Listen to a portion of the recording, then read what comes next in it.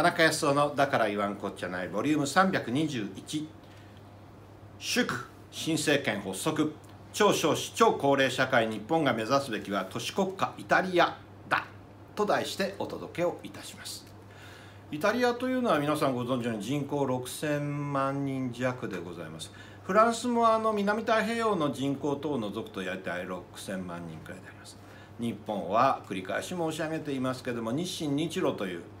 えー、坂の上の雲だというふうに言っていた頃に日本の人口というのは国勢調査こそございませんが5,000万人弱だったんですね。と先日も日本の出生率というのは0.01%下がって1.43になったとそしてですね出生数というものは100万人を2年連続で割っていると一億総活躍などということは移民をまさにこの問題また後でお伝えしますけれども日本の国柄を取り戻すと言ってる人たちが日本の国柄を変わる変えるということを建設現場あるいは介護の現場のみならずありとあらゆるところで行っているということです。それをまさに移民という言葉を使わないで外国から来る人として扱っていてまさに福一の中でも働かせてしまうけども保険が出ない。あるいは何年かずつ1年を更新できるということは結果的に移民と同じであります。言葉のあやなどというものではない。これこそ私たちの日本をどうするのかというグランドデザインを具体的に抽象的でなく日本らしいサッカーなどという言葉とは違う形で見せなきゃいけない。にもかかわらず見せていないで日本を取り戻すと言ってる人たちが最も日本を取り壊していく取り戻していくということでございます。ですから私はイタリアやフランスに学ぶという必要があろうと思います。フランスは3万2000のコミューンがあります。あるいはイタリアにおいても8000のコムーネ。つまり市町村です。日本は平成の大合併で3000いくつあった3200くらいあったのが1700くらいになもっと少なくなってしまった。でも合併したからといって効率的になったか税金が下がったかったらそんなことはない。むしろ周辺部というものは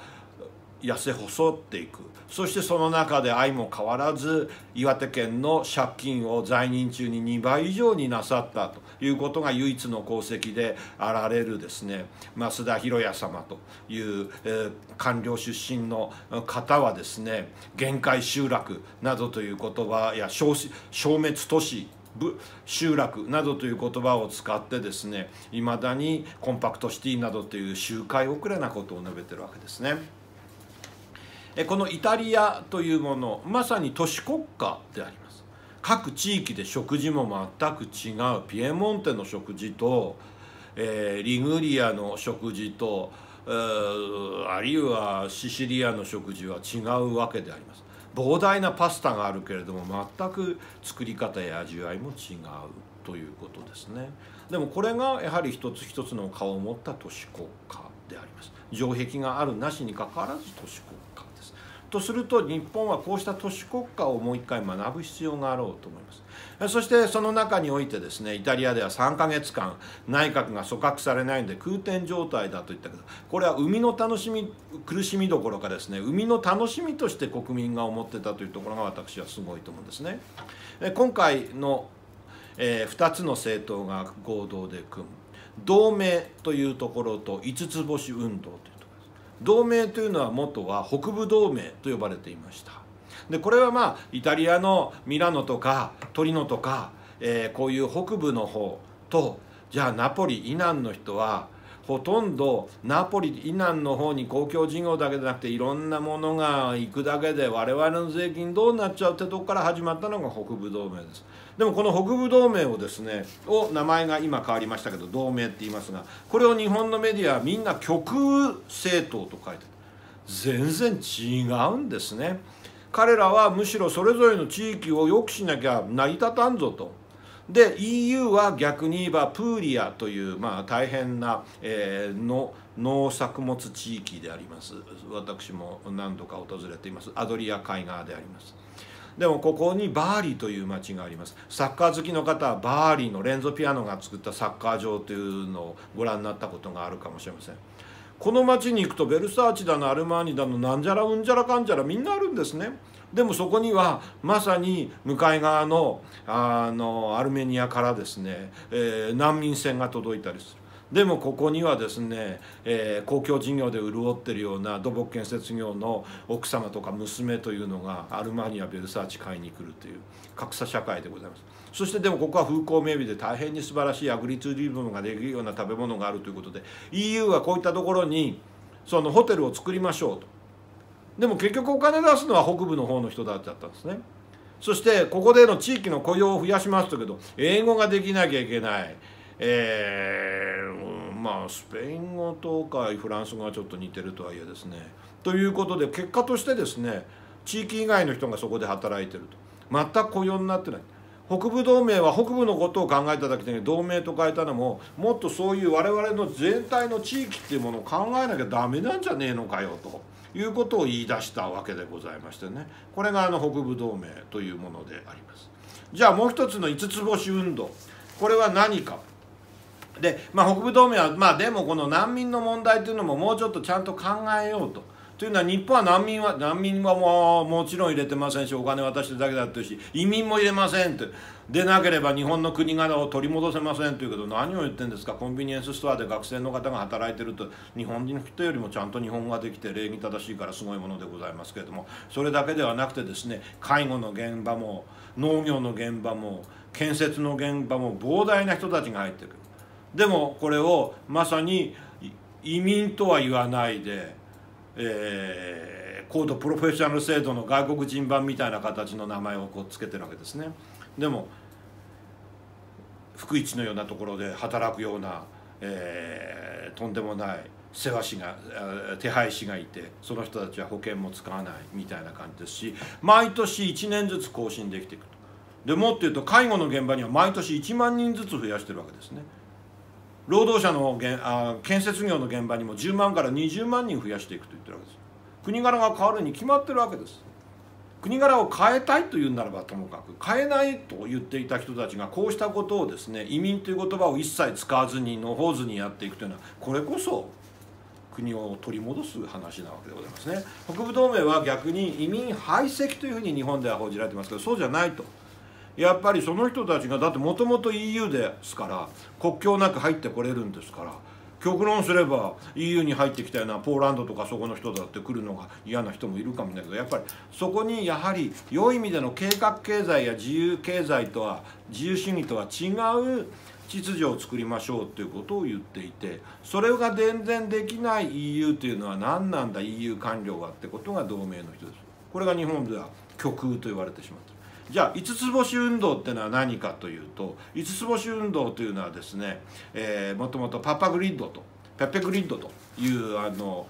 道化師のような漫才師のような風刺の方がいたんですね。でこの人はいろんな社会風刺をすることでシルビオ・ベルルスコーニがほとんどのメディアを持ってるのでテレビに全く出れなくなっちゃったと。でも非常に国民的人気があると。で彼が行ったことはまさに大道芸のように街で集会を開いてそれで社会を風刺するということをやったんです。でその彼と知り合ったのがもうがんで亡くなってしまったんですけどジャン・ドベルト・カザレッジョという人。この人は IT の会社を経営してたわけです。日本の IT の会社の人というのは何か野球球団持ったりサッカークラブ持ったりするのが自分の道楽のように思ってますけど彼はそうじゃなくてそのペッペグリッドに IT ののことで SNS がまだ普及するような前からこれを使っていろんな人をネットワークを作ろうということを言ってってまあ昔の掲示板みたいなものをどんどん作ってたんですね。そしてそこでまあある意味じゃイタリア人も議論好きですからたくさん集団ができてきて。でその中からいわゆる今まで政治家ではないけれども世の中を良くしたいという人たちが五つ星運動で出てきたわけです。まあ、ローマの市長になった女性市長のようにですね弁護士だったんだけども全然実務能力がなかったというような人もいますけど同じくトリノも女性の市長になりましたけれどもこれはなかなか優秀な方なわけでありますね。でもこういうものを日本はいまだに五つ星運動をポピュリズム政党というふうに呼んでるわけですねあるいは大衆迎合政党と呼んでるわけです日本の記者クラブっていうのがいかに上から目線で遅れてるかということでございます話を戻しますとイタリアはこの2つの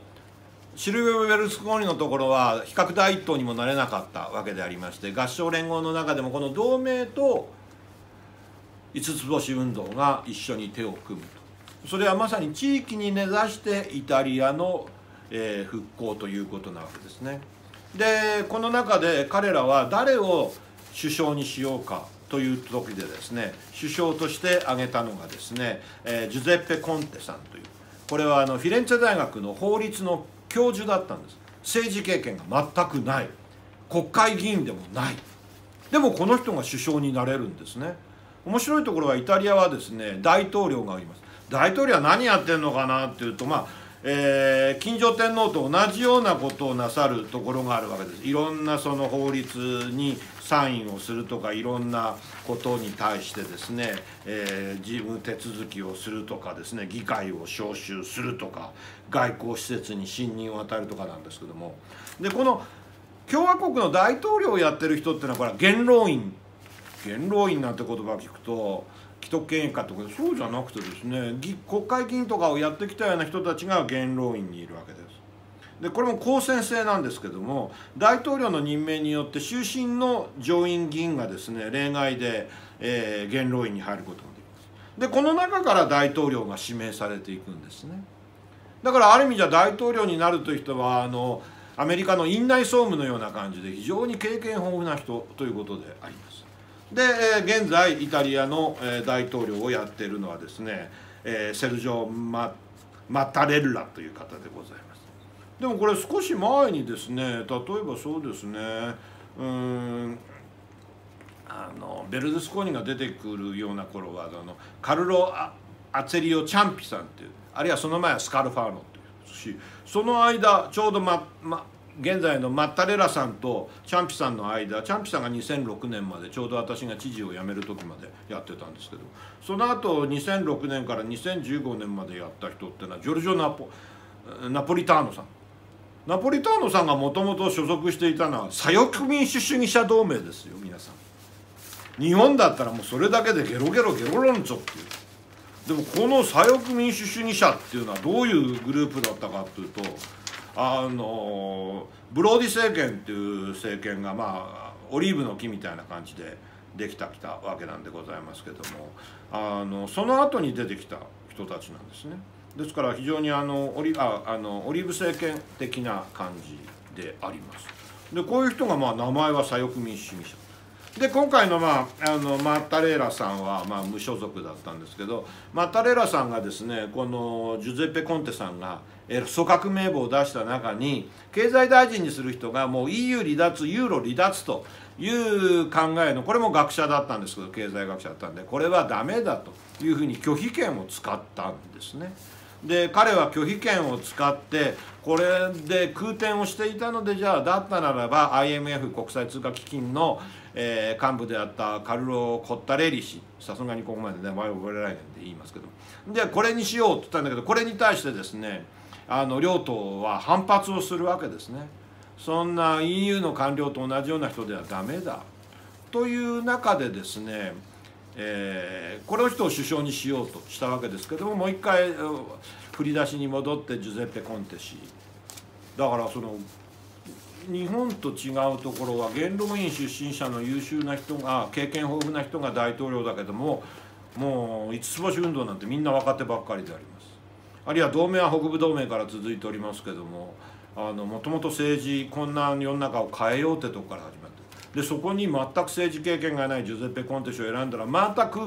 転するだろうみたいに日本の若手分かんない人は言ってるんですけどそうじゃないんですね。これが大変なまさに地域に根ざして学識机上の空論の日本のですねいろんな竹中平蔵様に見られるような御用学者誤った使い方の学問を捨てたという御用学者とは全然違う形で動いていく。とする時にですね日本と同様に少子高齢である。えー、未だにですね今大和ハウスとそれから東芝じゃなくてですね東芝メモリーが提供してても東芝メモリー売っちゃうんですからね。売っても50.1%は日本の東芝系が持つからって言ってるんですけどここが提供しているですね BS 日テレの、えー、イタリアの小さな村の物語というこうしたところに出てくるような人たちの生活。それはまさに私があいや浅田明氏がずっと述べてきているですね。あのパブリックと、えー、プライベートというものはまさにエマニュエル・カントが言ってるようにプライベートな時間にみんなは地域のことを祭りどうするよこのバスの終電どうするよって話をすると。パブリックで会社で働いてる時の方がこんなこと社会的にやっていいのかなと思いながらもそれを言ったら自分はクビになっちゃう左遷されちゃうかもしれないあるいは株価が落ちるかもしれないと思ってパブリックな時間の時に最も私利私欲なことを考えていると。プライベートな地域に根ざしている時に最もパブリックなことを考えているということをカントは述べたわけでしてこれがカントが述べたコペルニクス的展開ということなわけであります。でそれを行っているのがイタリアでもある。もちろん汚職もあるかもしれません。あるいはマフィアにですね優秀なですね日本の忖度をするようなけ、えー、法務省とは違うような検察官が今いまだにですねえー、殺されてしまう交通事故に巻き込まれてしまうっていうようなことがあるかもしれませんけどやはり私は少子高齢という日本の人口は6,000万人という中で維持するためにどういう社会にするかという発想にしていかないと1億人がいるんだという発想ではもう成り立たない。それが全てクールジャパンといって経済産業省がやったことが一体どれだけのものになったんだと外国に行って日本食がうまいですねって宣伝をしただけじゃないですかと。ということでですね新政権発足祝い、えー、超少子超高齢社会日本が目指すべきは都市国家イタリアと題してお届けをいたしました関連資料もつけておきますのでまたご覧ください。